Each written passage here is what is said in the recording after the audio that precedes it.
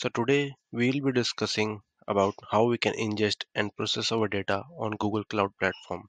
We'll be discussing what services that Google Cloud Platform offers us for ingesting our data and how we can process our data. So I'll be covering both the aspects, whether it is a batch mode or a streaming mode.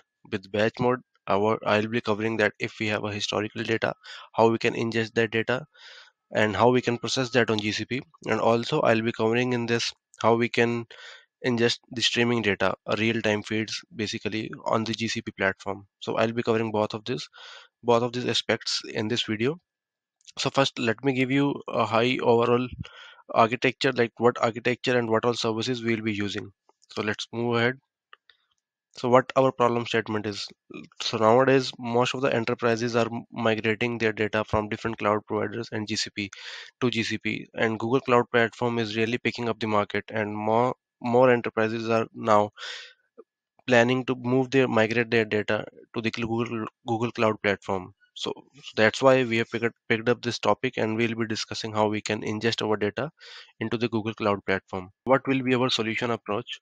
So we'll be using Google Cloud Platform to ingest all our data and then we'll be seeing what all services that Google provides us.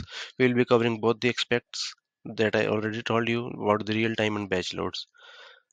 So first of all, let's throw some light on the services that we'll be using in this uh, in this project while making our data pipeline.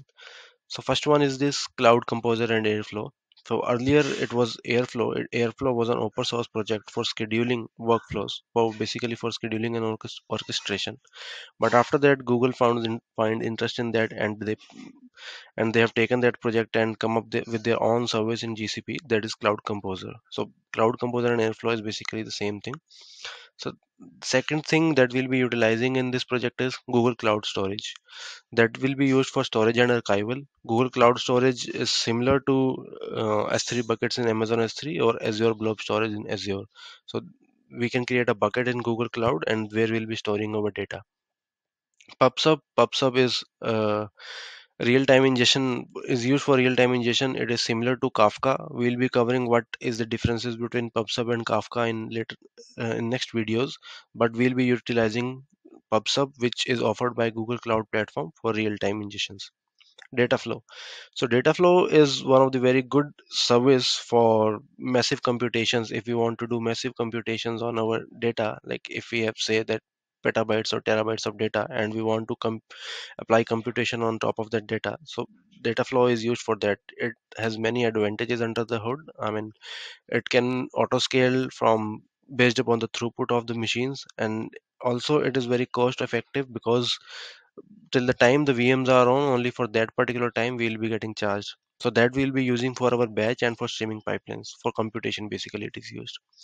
Bigquery bigquery is like a data warehouse where we'll be storing our structural data. As we have hive in hadoop ecosystem so similar way we have bigquery in google cloud platform and dataflow is an alternative to spark.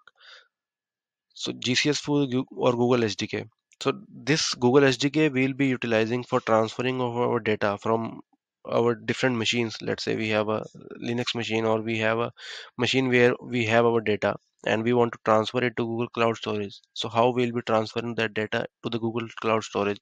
So i'll be covering that aspect in this video in this project utilizing google sdk now data studio. With data studio we'll be we'll be seeing that how we can visualize our data that is stored in bigquery. Uh, we will be seeing that how we can create charts and graphs utilizing data studio.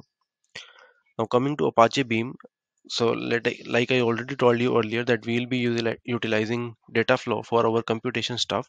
So apache beam is an orchestrator for data flow jobs. So apache beam can support spark backend as well as well as data flow backend. Apache beam is a kind of orchestrator where we can have separate compute and separate storage storage. That is why it is being used and dataflow jobs only work with apache beam kind of pipeline structs. So that's why we'll be seeing that how we can build our pipelines dataflow jobs in ut- utilizing apache beam.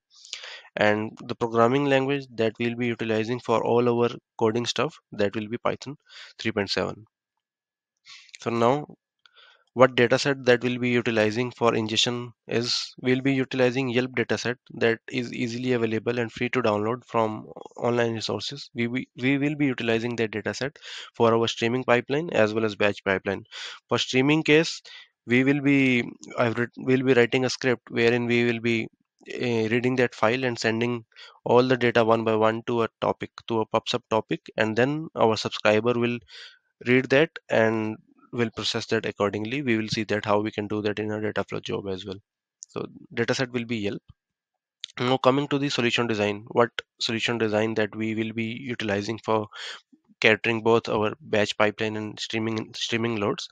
So we can see on the left that we will be having Yelp dataset JSON stream. This is what uh, we will be.